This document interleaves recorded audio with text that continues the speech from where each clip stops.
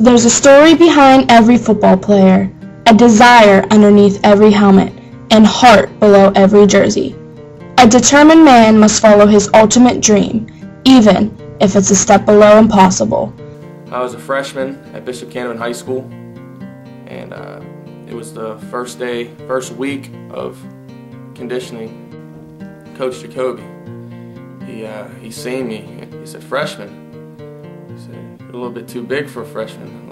Jeff came to us as a uh, ninth grader, uh, and I hadn't really known Jeff before he came to Bishop Canevin, but I had heard about him from several people, and uh, what a really good athlete he was, and how he worked hard at uh, at, at sports.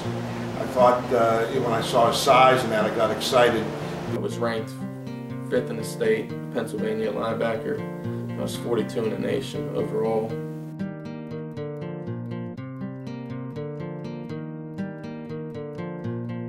Whatever we asked Jeff to do offensively, defensively, uh, Jeff would respond uh, very positively towards it. He brought an enthusiasm uh, to uh, practice in the games.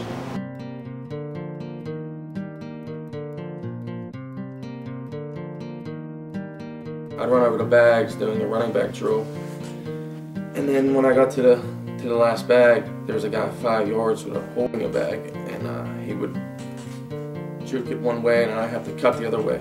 So he waited till the last minute, and I cut one way, and as soon as I cut that direction, he put the bag in front of me, so I tried to cut on a dime and go the opposite way, and I was off balance and my knee popped. Losing Jeff, you know, we just didn't lose a, uh, a player on uh, offense or defense. We lost a player on both, and we lost a uh, what we felt was a Division One prospect.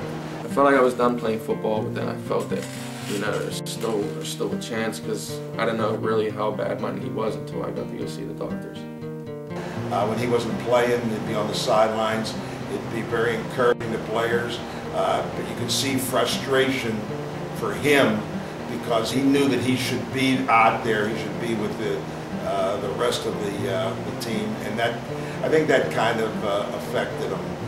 We were losing, I couldn't do anything to help us win, and uh, you know, so I sometimes even would just cry on the field, just knowing like my senior season's just down the drain.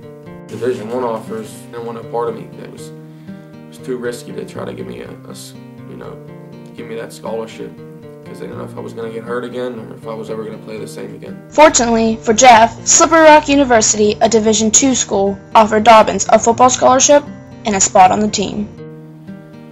Uh, coming back off the injury and my first and going into camp, I was real nervous about my knee, and I looked at football in a totally different perspective, and was just uh, scared of hurting again. I was more hesitant.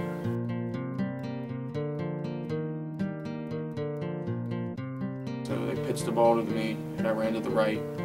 I cut back left, and then I cut up and went straight upfield. And there was a defender right in front of me, and I planted my right foot, and it cut the other way, and then my right knee gave a pop. When he injured himself again, the phone rang at 7 o'clock in the morning, and I said, This can't be good.